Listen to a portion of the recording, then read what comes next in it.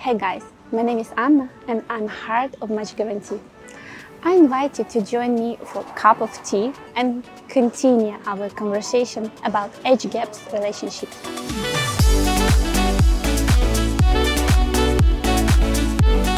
As you remember, recently I did video about why beautiful Ukrainian lady avoid big age gap relationships. The link to this video you can find in description below this video. And today we are going to discuss reasons why beautiful Ukrainian lady looking for big age gap relationships. What's behind that? So let's get started. Number one reasons, the most common in Ukraine, unfortunately, she's not serious. She's scammer. She has no any sincere intention about you. It's just using relationship, you know. When you open her profile, she's for example 30 years old and she's looking for a relationship with a man from 25 to 60 years old. What does it mean?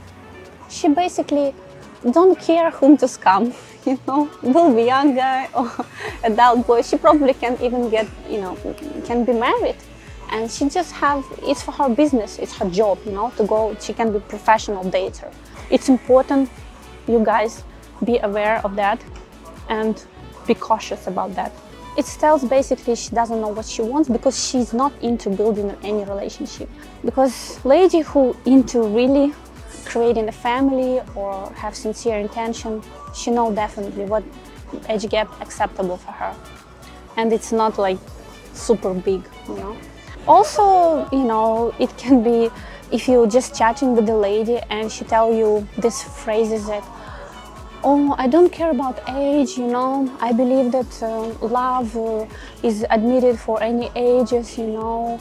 Uh, age is just a number. Again, especially if she never see you in real life, be cautious about that. It's not in our culture. I want to understand, I want you to understand, guys. I told this number. Normally between Ukrainian couples, it's not more than seven years age gap. So when lady told you like doesn't matter you know. Be realistic. If you like guy 70 years old and she's 30 and she's beautiful model it's not real. It's not realistic in ukraine. Maybe it's realistic somewhere in philippines you know but not in ukraine. She's definitely scammer like 99.9 percent okay? Okay second uh, reason uh, is um, sugar daddy type relationship